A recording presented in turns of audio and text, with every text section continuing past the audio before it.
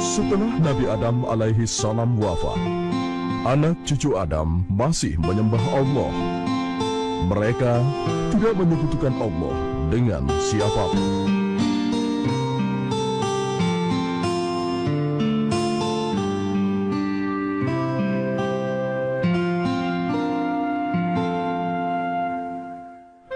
Ya Allah, Engkaulah yang Maha Pencipta. Engkaulah yang memberi kami makanan dan minuman. Limpahkanlah kepada kami rezeki yang berkah, ya Allah. Ya Allah, kami bersyukur kepadamu. Engkau telah menurunkan hujan sehingga ladang gandum kami tumbuh subur. Engkaulah yang Maha Pengasih dan Maha Penyayang, ya Allah. Aku minta kalian dengarkan baik-baik. Apakah kita akan biarkan anak keturunan Adam masuk surga, sementara kita akan masuk neraka? Tidak, tuanku. Ini tidak boleh kita biarkan. Kita harus sesatkan dan jerumuskan mereka. Adamlah yang menyebabkan Allah mengutuk kita. Kita harus balaskan dendam ini. Ya, betul. Jangan sampai mereka bersenang-senang di surga, sementara kita sengsara di neraka. Baiklah, apa ide kalian untuk menyesatkan mereka? Gampang, tuanku. Bujuk mereka untuk menyembah berhala. Tapi kawan, kalau kita langsung membujuk mereka untuk menyembah berhala, pasti akan sangat sulit jadinya. Di antara mereka ada orang-orang yang beriman dan bertakwa kepada Allah. Mereka menjadikannya pemimpin dan panutan yang sangat dimuliakan. Kenapa? Sebab pemimpin-pemimpin ini senantiasa membimbing mereka siang dan malam dengan rasa cinta dan kasih sayang.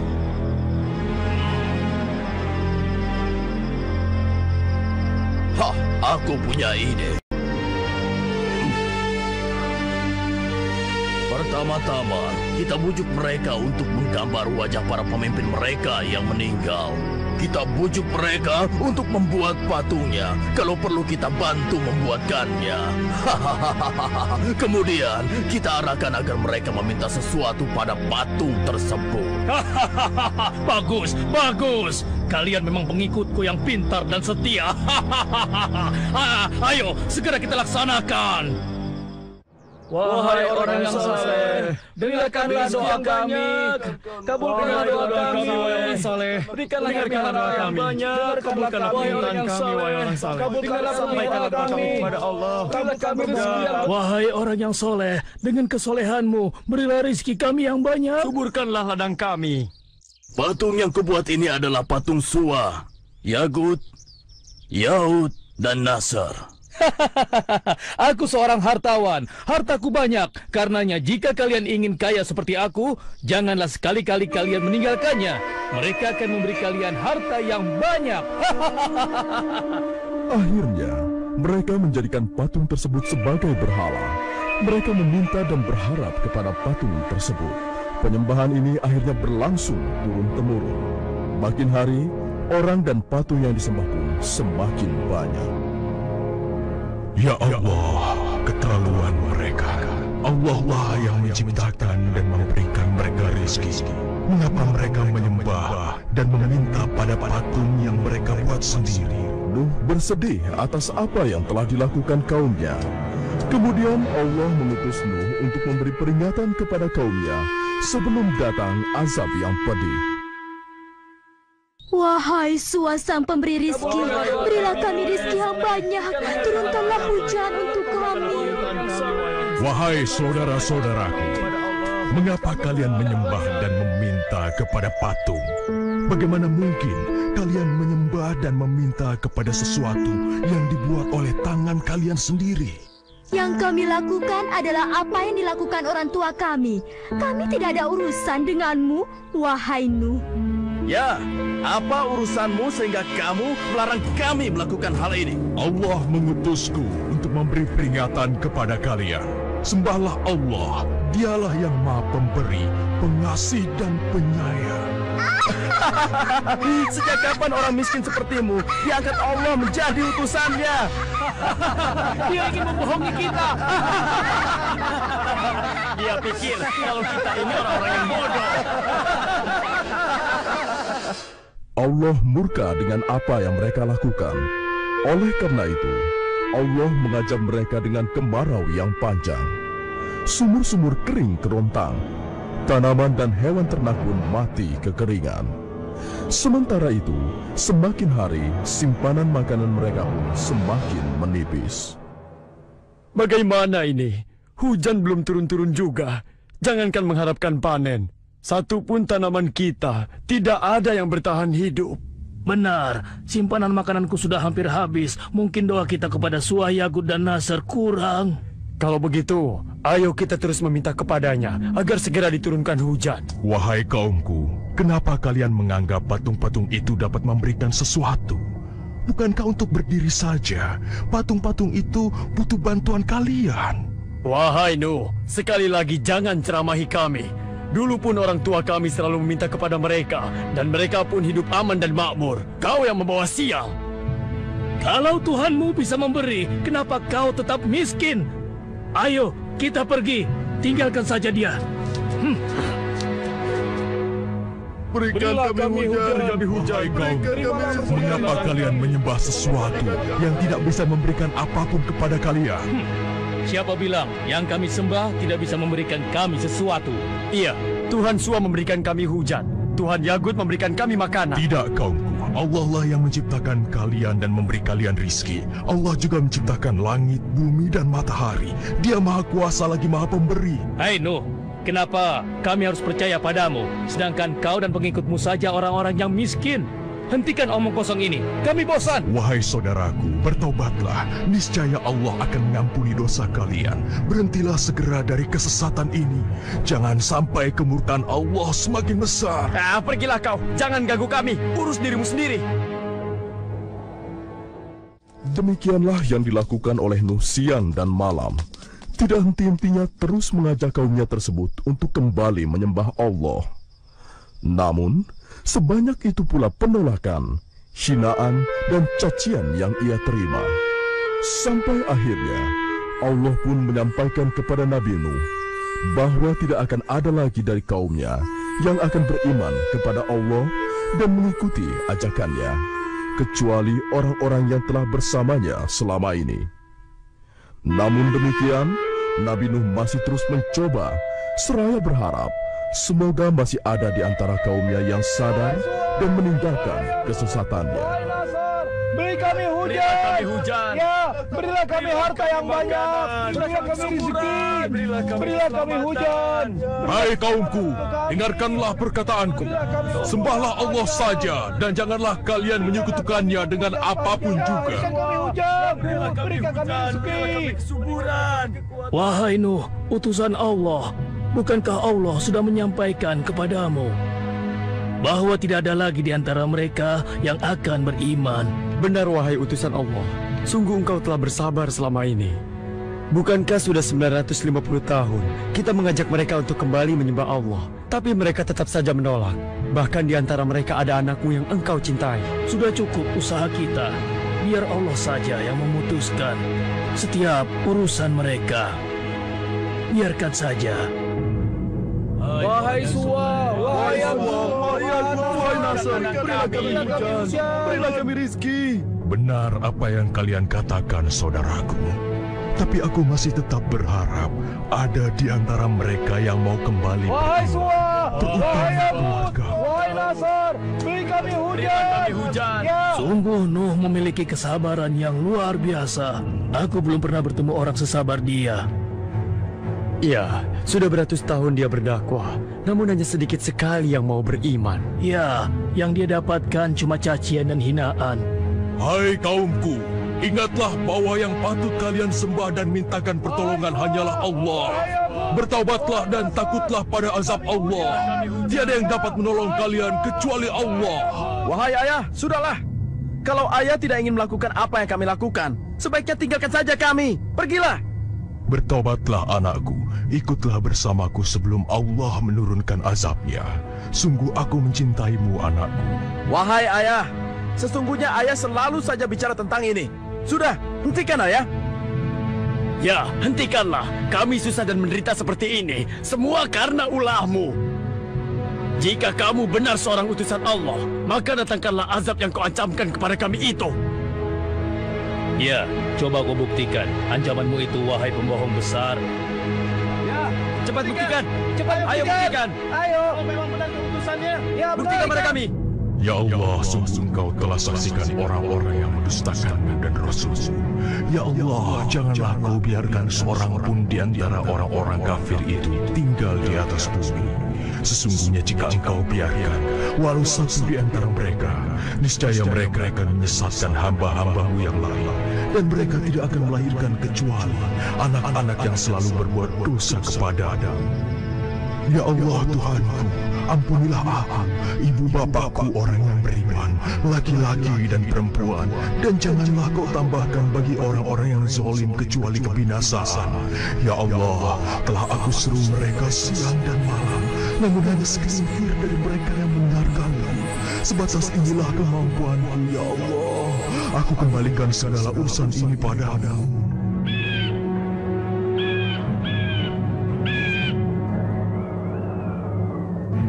Untuk apa kita diminta berkumpul di sini oleh Nabi Nuh? Entahlah, sepertinya ada hal yang sangat penting.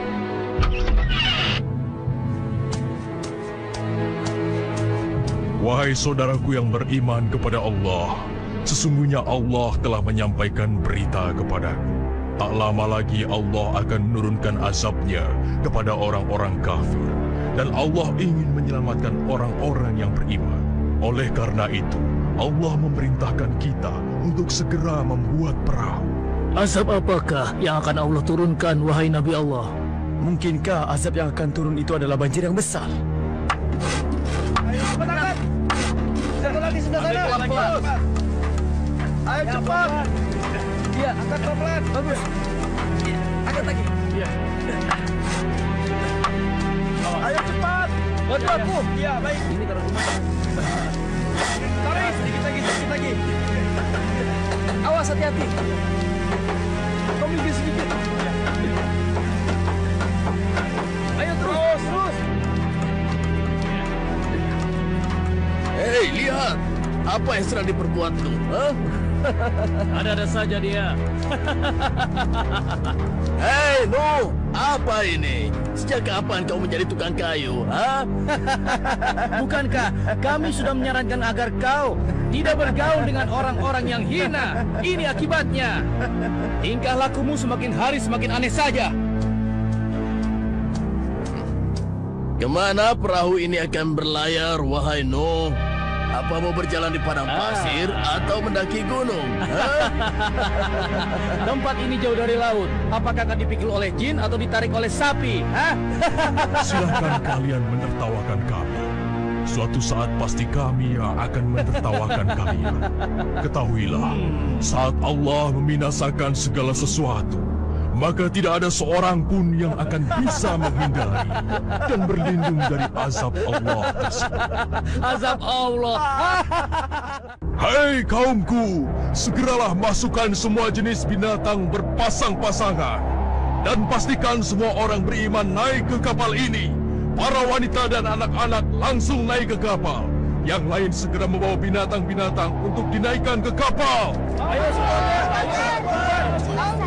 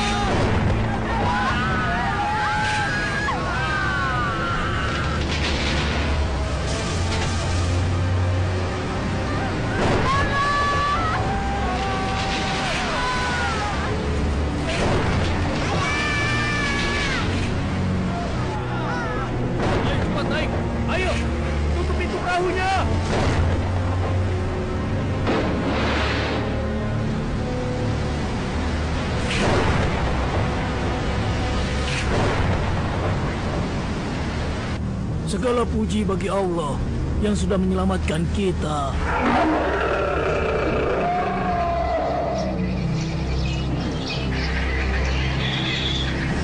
Ayo kita lari ke tempat yang lebih tinggi. Ayo, ayo. Ada air datang! Ada air datang! Ini ada air datang! Gawat, eh, airnya semakin meninggi. Jangan-jangan benar ini katakan Nuh. Ah, paling-paling sebentar lagi akan berhenti. Ayo ke tempat yang lebih tinggi lagi. Ayo cepat.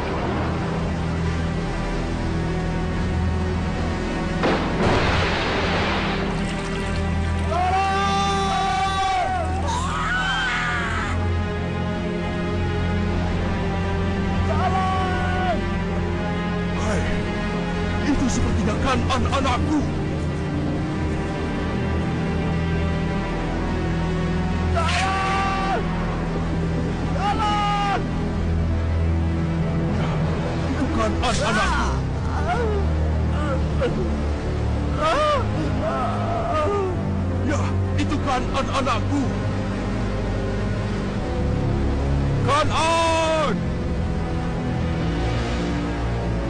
Kanan! Wahai putraku, ikutlah bersama kami. Janganlah engkau bersama orang-orang kafir itu. Aku akan berlindung ke gunung sana. Aku pasti akan selamat. Aku pasti akan selamat. Tidak. Tidak ada yang akan selamat dari azab Allah ini. Kecuali yang berada di atas perahu. Tidak mau. Kemarilah putraku. Selagi masih ada kesempatan. Aku pasti akan selamat. Aku pasti... Ah, ah. Kanan! Kanan!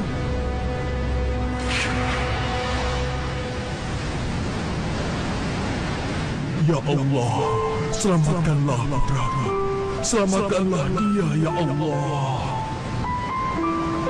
Wahai Nuh, utusan Allah, sesungguhnya engkau tahu bahwa Allah telah berfirman, kanan itu bukan lagi anakmu. Sudahlah, jangan bersedih.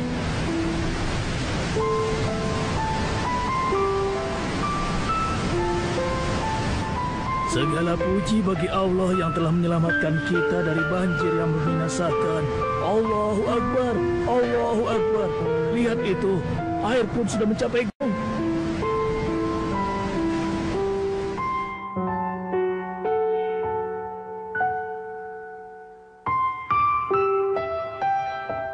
Sudah berapa lama kita berada di atas perahu ini? Aku hitung kira-kira sudah enam bulan lamanya. Aku yakin tidak ada satu makhluk pun yang dapat selamat dari azab Allah sedahsyat ini. Ya,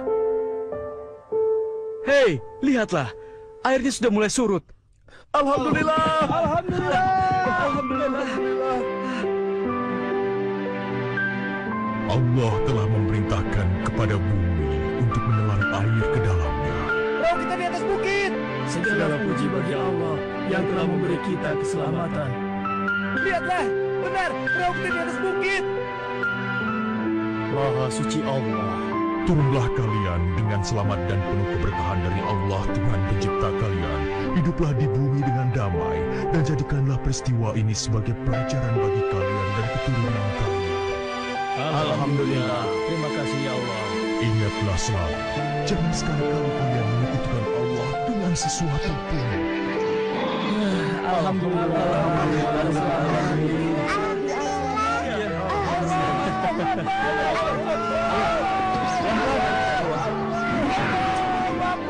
Ya Allah, ampunilah kami dan orang tua kami, serta orang-orang yang beriman, laki-laki dan perempuan,